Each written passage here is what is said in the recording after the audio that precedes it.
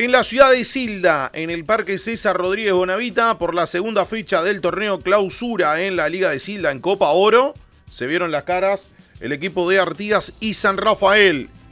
En el elenco de Sebastián Berriel estaba la novedad del debut de Ricardo González y de Schubert Fajardo. No podía estar por el acuerdo entre los clubes Facundo Carcasa Fernández, el goleador del equipo de Artigas, además de la elección de Nahuel Bentancor. Marcos Beltrán, secundado por Contreras y por eh, Carlos Ferreira. La terna arbitral, la cámara para agenda deportiva para CLDTV del señor Fernando Marrero. San Rafael, que tenía el debut de Juan Pablo Hernández como titular. Ya había ingresado en el partido de la primera fecha en la victoria del equipo de San Rafael ante La Paz. Y en definitiva, ahora iba desde el vamos. Era la única novedad que tenía el equipo que orienta técnico y tácticamente Mauro Casar se verificaban que esté todo en orden por parte de los protagonistas en uno de los resultados que se puede catalogar como sorpresivos en esta primera parte de la Copa Oro, en esta fecha número 2. Luego del sorteo de capitanes, la pelotita a rodar. Y el primer toque de Parodi para que el esférico ruede en el Rodríguez Bonavita. De movida, de arranque, Pelota larga para Schubert Fajardo. Sale el arquero, despeja, rebota en su compañero. No es feliz el control de Mauricio López. Le queda a Schubert Fajardo que toca por arriba. Ante el quede notorio defensivo de San Rafael. Y en el amanecer del partido, poner el tanto de apertura para el Rojo.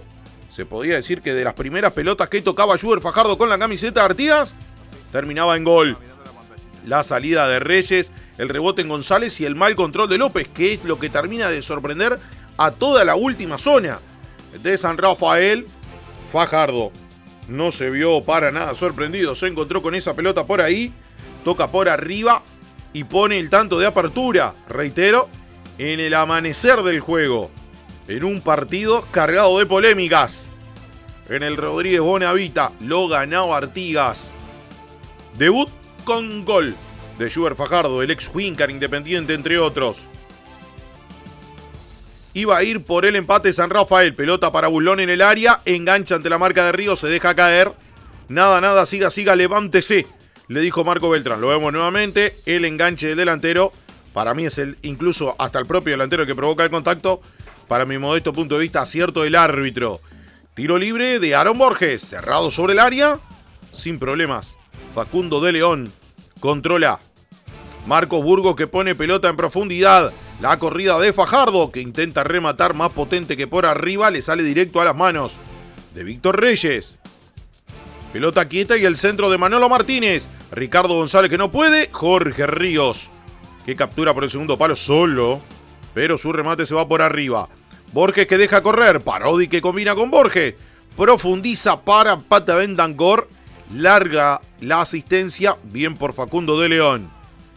Ríos que cabecea hacia atrás, corta media Ruiz, Parodi que tira a pase largo, Bullón que va habilitado, elude a Facundo de León, pero el palo le niega el tanto del empate. Luego del buen enganche largo para dejar sin acción al arquero, se quedó con poco ángulo el goleador de San Rafael, San Bullón, y no pudo anotar el empate. Sale jugando Hernández con Facundo Bentangor. Presionado, pierde ante la marca de Matías Gómez. Pero el remate del capitán de Artigas se va ancho y desviado. Pelota quieta y tiro libre de Aaron Borges, que va sobre el área. La baja González, le queda Ulón, pero da en el clavo, da en la marca que tenía el delantero de San Rafael. Juan Pablo Hernández con Buslón, con Parodi, con Aaron Borges, con Buslón, ingresa al área, lo toca para mi gusto Ruiz, cae Buslón, Beltrán no da penal. Vamos a ver nuevamente. Contacto seguro hay del zaguero contra el delantero. Y para mí contacto de penal. Desestima al árbitro que entiende de que es un contacto y que continúa unos metros más en carrera Bullón. Para mi gusto penal. No sancionado en favor de San Rafael. Atento porque hay más polémicas en el encuentro. Porque Borges combina con Buslón. Va a enfrentar la marca de Burgos. Va a enfilar hacia el área Cae Buslón y Beltrán, que está en esta incidencia al lado de la jugada, marca que es afuera el contacto. Lo vamos a ver nuevamente, porque hay contacto arriba y abajo. El contacto que cobra Beltrán es abajo y está al límite. Hay que darle la derecha al árbitro que está al lado de la jugada. Pero reitero, está muy, muy, muy al límite. Y no se puede apreciar muy bien el área. El tiro libre de Borges que da en Jorge Ríos y se pierde el tiro de esquina. Lo último del primer tiempo. Insisto en esas polémicas. Para mí un claro penal a Bullón. La otra, la segunda incidencia a Bullón, deja alguna duda. ¿Dónde estaba parado Bullón a la hora de la infracción? Además una jugada bastante rápida. Complemento. De movida, tiro libre para el Sanra. Amaga Matías Fernández y le da a Luca de León, que ingresó desde el banco por una y por dos. Termina yendo ese elevado el remate de Luca de León. Ahora va Artigas con Marcos Burgos. Corta la cava, le va a quedar a Manolo Martínez, que no le entra bien. Su remate se pierde ancho, defectuoso y afuera. Atención porque hay una nueva polémica. Pelota larga, Buslón. Termina cobrando infracción en ataque Beltrán de Buslón a Ríos. No da sensación de falta. Y después, para mi gusto, Ríos quiere tocar el balón con la mano. Para mí, penal que no sanciona al árbitro porque, insisto, cobra una falta que no existe en favor de Artigas. Para mi gusto, reitero, jugada de mano de penal. Artigas que iba con Fajardo, que va a buscar, va a pelear, va a luchar. Y en el cuerpo a cuerpo con Hernández cae. Nada dijo Beltrán. Siga. Se reclamó también penal en fila de Artigas. La vemos nuevamente. Esa disputa de Fajardo. Es muy difícil porque incluso está tapada la imagen si termina existiendo un contacto abajo de Hernández. Hay que darle a la derecha al árbitro en esta. Bastante confusa, bastante enredada, está de frente. Martínez con el córner, despeja la saga. Y este remate que tiene una extraordinaria intervención de Víctor Reyes, que la manda al córner. Un latigazo bárbaro que venía de fuera del área. López que va a combinar con Luca de León. Va a girar Va a filtrar nuevamente para la proyección de Mauricio López. Que pone en viva el área, despeja Ríos, fallido y pega en la mano. Esta es claramente un acierto del árbitro y un desconocimiento de los reclamos de San Rafael.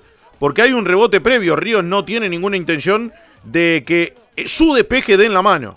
Claramente aquí acierto del árbitro. No es penal esa mano. Luca de León con el amigo. Mauricio González y el cabezazo que tiene el pique previo que complica a Facundo de León, que mete un manotazo extraordinario para mandarla al tiro de esquina.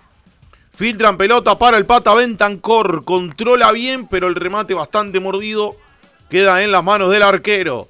Otra para el Sanra que iba con pelota quieta. Con el envío de Luca de León pasado. Luciano González que gana en el juego aéreo. Pero el cabezazo se termina perdiendo afuera. Otra pelota quieta para San Rafael. Esta vez desde la esquina. Buscaba el tanto del empate. El envío es de Luca de León. El que conecta es Parodi. El que pelea la segunda pelota Juan Pablo Hernández, pero Facundo de León. Se termina quedando con el esférico.